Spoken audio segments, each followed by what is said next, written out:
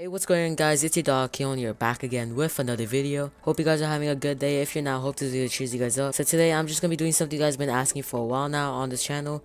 And for a couple months now you guys been asking me to showcase my OBS render settings. I'll show a couple of comments from the last couple months of the people wanting this. Um, They have been pretty patient with me and I'm sorry that it took me a while to come out with this video. It's just that um, I wasn't even sure if my settings were good enough for you guys.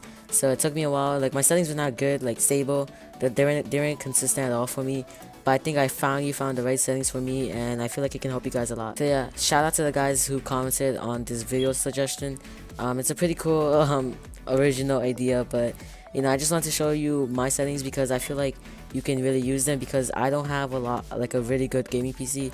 I use like an $800 gaming laptop, which isn't the best, but um, it's it, it can be like hard to work with sometimes. But for my settings, I feel like I have the right settings, and I feel like if you guys get less FPS than normal and you guys want to record and stuff, I feel like these settings can be the perfect one for you guys. So I don't want to waste your time, guys. So let's just get right into it. So what you guys need to get is OBS Studio, and I, for me personally, I use 64-bit.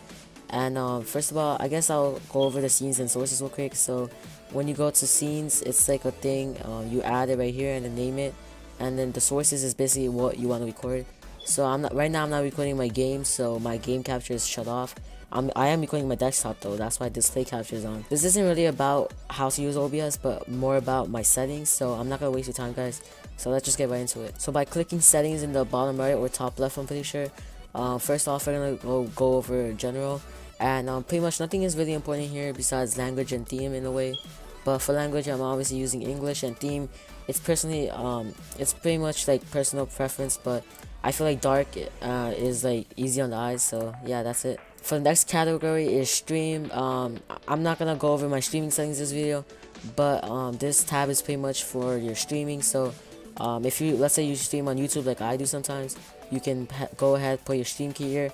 I'm obviously not gonna show you guys because my stream key because that's bad so for obvious reasons I'm not gonna show it but yeah, let's get right into output. So output um as I said I'm not doing the streaming settings because my stream settings are terrible. That's why I actually can't record a lot because my PC can't handle it and I feel like my settings aren't the best but like we're gonna go over recording this this video. So if you switch over um if we switch over to recording tab um, you'll notice that my output uh, my output mode is advanced and the reason why I'm not using simple but rather I'm using advanced is because I use multiple audio tracks. So as you can see here I have a lot of audio tracks. There's, there's like four here and um, sometimes I need them sometimes I don't but I just keep it advanced for um, convenience. So for recording path you guys can um, put you see it right here. So what you want to do is click browse find the space in your hard drive. Like for example you could put in your desktop.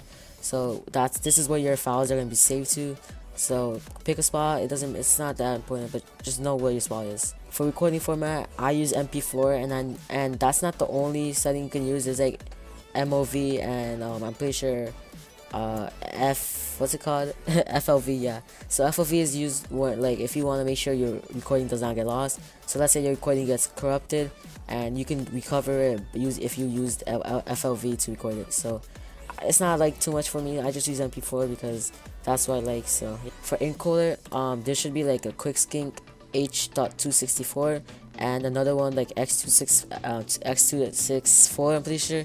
And if you have a NVIDIA graphics card, there should be a. I'm pretty sure.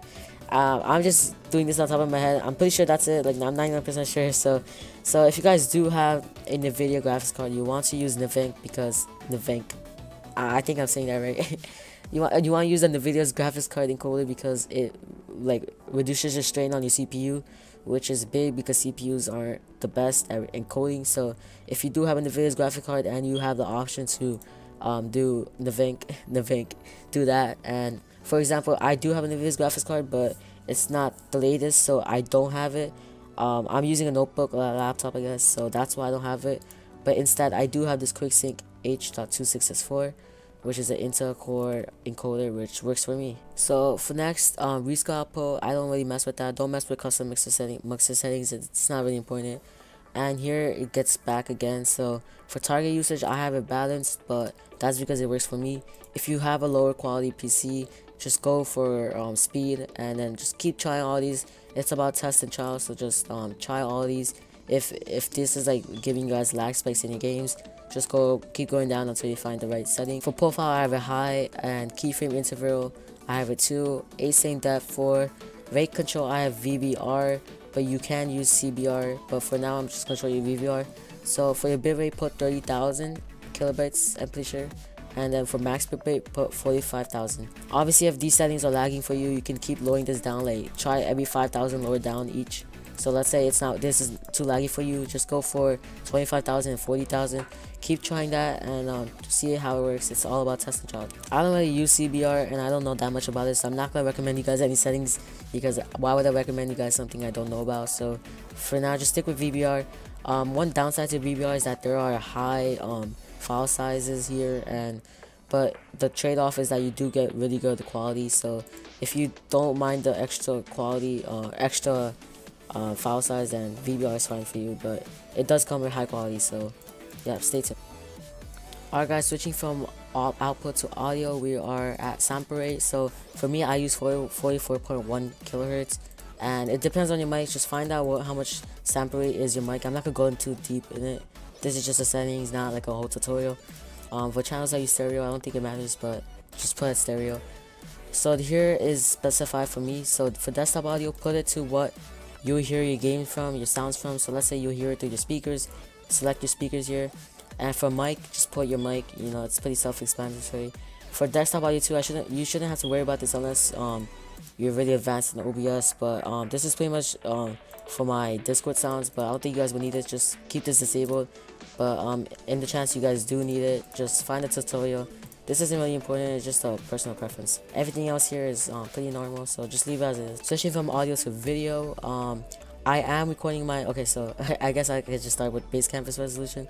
So, um, this is how much, um, like, what's the resolution of your video. So, if you want to record in um, 720p, it will be 1280 times 720 on 1280 times 720 but the base canvas resolution is pretty much what you see your games as. So if you play in 1080p keep this at 1080p and then if you play on output if you want to also record in 1080p keep this at 1080 and I'm, I'm sorry if I'm um, saying this wrong but like it's that's pretty much how it is. Kind of confusing but so for me uh for me personally when I do play games I don't record at 1080 the only reason why I'm recording 1080 for this video is because I'm not playing any games so I can record as high quality as I want but normally I would record on 720p, 20, uh, 1280 times 720, 1280 times 720 on both tabs. And um, I would have downscale filter as bit, uh, billion here because it's the fastest. But um, if you guys want more high quality, just go for Lanczos. So here's the FPS for your video. So um, I use 60 FPS because that's normal, but um, you can if that doesn't work for you guys getting lag spikes, use 30 FPS. But um, if you want to record at 120 FPS and you know like that extra um, you know milestone frame rate, you could just go here, go down here, go to fractional uh, FPS, and just put it to 120 over one or 240 over one. But it should most of you guys will probably just have it at 60, so leave it at 60. For hotkeys, I don't have anything for hotkeys, and uh, let's just get to advanced process priority. I think leave this at normal and render is 3 direct 3d 11 you guys can just copy here but color space should be 709 and color range should be full that's pretty much the only important part here.